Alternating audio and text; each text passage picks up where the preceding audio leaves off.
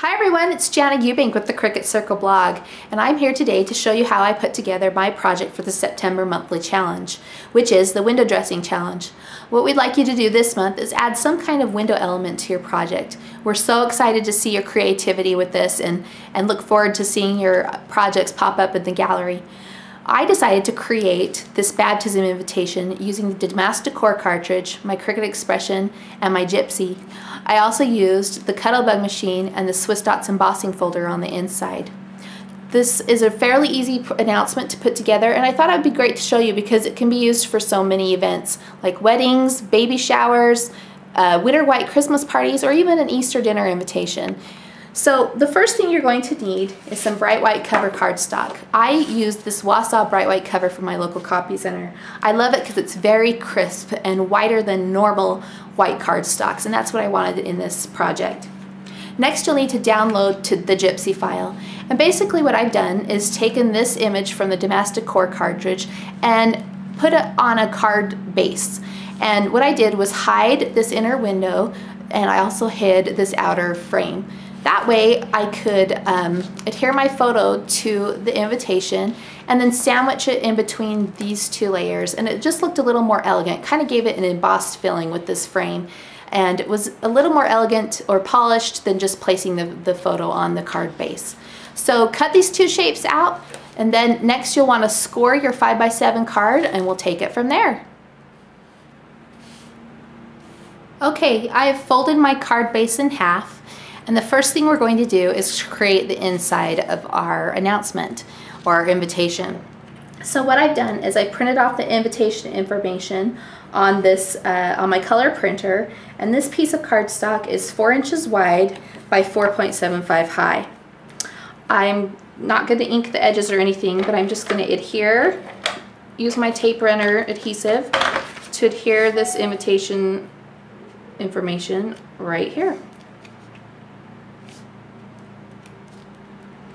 Next, I have a piece of white cardstock that is cut to two and a half inches wide by 4.75 inches tall. And what I'll need to do is emboss this with my Swiss Dots embossing folder. I'm going to line it up and center it between the dots as best as I can.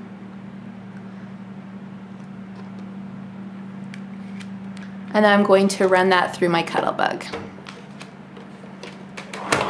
Using my A plate as the base.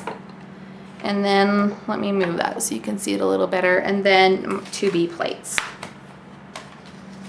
So we'll sandwich that in between there. And just run that through.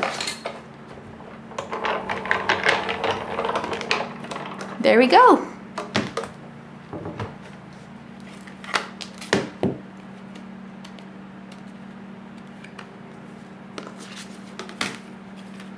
Beautiful. We'll add some adhesive to that.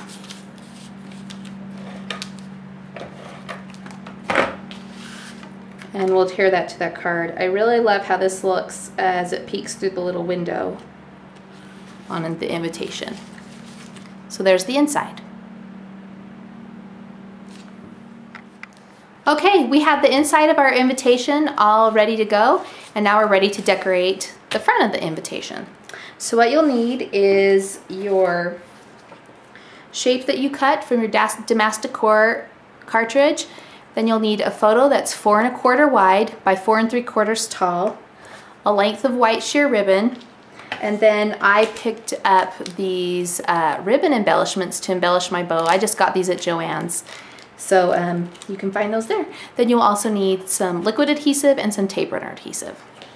So first things first, is we're just going to run a length of the tape adhesive right here along this frame.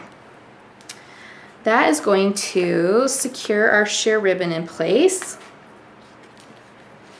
And we just place it on there like so.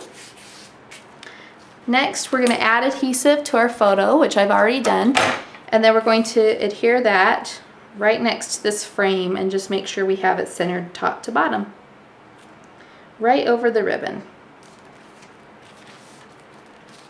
Next, we're going to use our liquid adhesive to um, add glue to the back of this, this frame piece.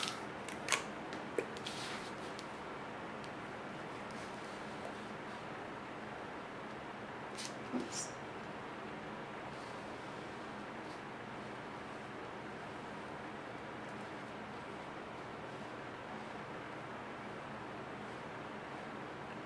We want all these details to lay flat, so this glue dries fairly quickly, so we want to work quickly. Okay, after we have that ready, we're going to adhere it to our card.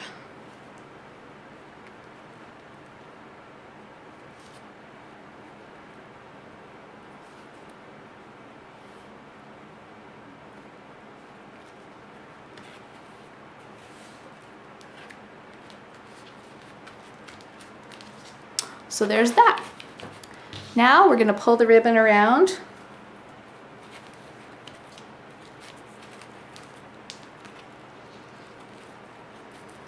And tie a bow. Just finesse it a little bit. Then use our scissors to trim.